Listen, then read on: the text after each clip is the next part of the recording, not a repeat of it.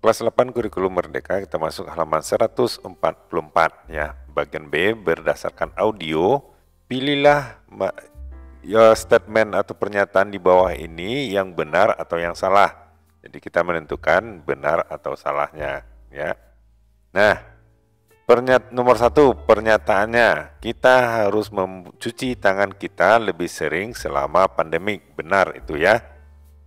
Nah itu benar. Kemudian Nomor dua, kita menggosok tangan kita tanpa sabun selama 60 detik. Salah. Ya, kita harus menggosok tangan itu dengan sabun ya. Nomor tiga, kita uh, harus mematikan keran air ketika menggosok tangan kita dengan sabun. Benar. Nomor empat, membiarkan uh, keran air itu terbuka, pemborosan air. Nah, itu juga benar. Nomor 5, kita harus hemat air. Betul, hemat air ya.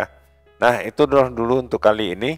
Jangan lupa subscribe dan like videonya. Mudah-mudahan bermanfaat. Sampai jumpa.